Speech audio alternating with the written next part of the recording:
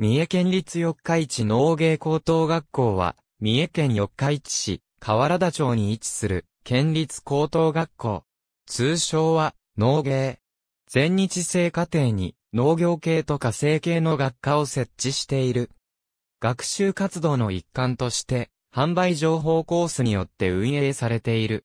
場所は、理科農業棟1階にあり、営業日には、緑色の上りが立つ。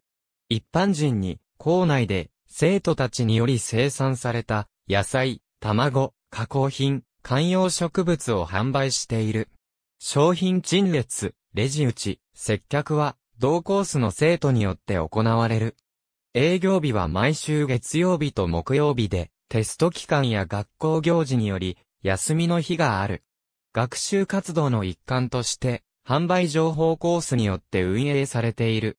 場所は、JA 河原田支店の駐車場を借りて行い、校内で採れた農産物や加工品、地元の専業農家から仕入れた農産物を販売している。仕入れ、商品陳列、レジ打ち、接客は、同コースの生徒によって行われる。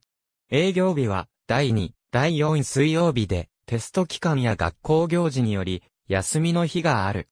加工品は、食品科学コースが作るクッキー、ジャム、味噌等であり、生還衛生コースが作るクッキー、パン等は販売されない。